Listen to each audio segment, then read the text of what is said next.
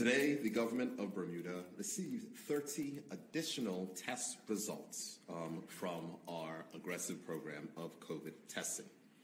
Of these 30 test results, there are five more confirmed cases of COVID 19, and 25 of the results were negative for COVID 19.